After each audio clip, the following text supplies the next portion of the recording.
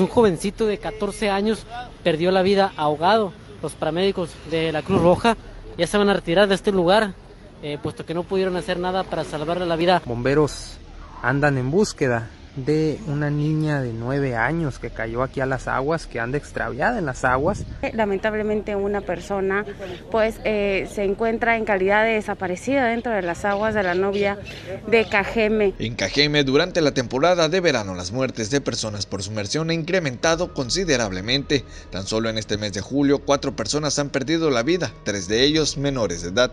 Un registro anormal por parte del departamento de bomberos. Teníamos alrededor de 22 servicios ya prestados, diferentes accidentes que vehículos, personas que caen al agua, etcétera, y en estos 22 lamentablemente han fallecido 10 personas, ¿no?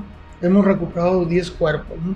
eh, otros 5 o 6 han quedado lesionados, y otros no, no, ha, no ha tenido ningún tipo de lesión. Dos casos fueron similares donde un joven y el otro, un adolescente, decidieron salvar a una persona. Sin embargo, ellos no pudieron ponerse a salvo a tiempo y lamentablemente fallecieron. Los otros dos eran menores de 9 años de edad. Uno de ellos murió en un paseo en un área restringida y el otro en un salón de eventos durante una madrugada. Pues vete a las albercas, vete a un lugar recreativo, un lugar donde existe una persona que te respalde en caso que sea necesario eh, de que te ayude en caso que sea necesario el apoyo, ¿no? Si te vas a un canal, te vas al lecho del río, no hay nadie que te supervise. En el 2021 murieron seis personas ahogadas en los canales, paseos y albercas de Cajeme. Durante este 2022 la cifra es de 10 personas fallecidas, incremento del 40%. El departamento de bomberos se está enfrentando ante esta situación con equipo viejo.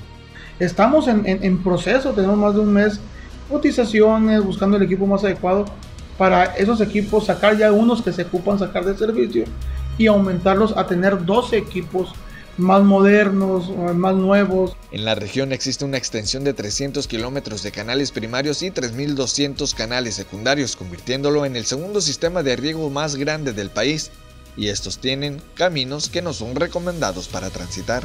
Son caminos de operación para el manejo de la infraestructura, para eso están construidos.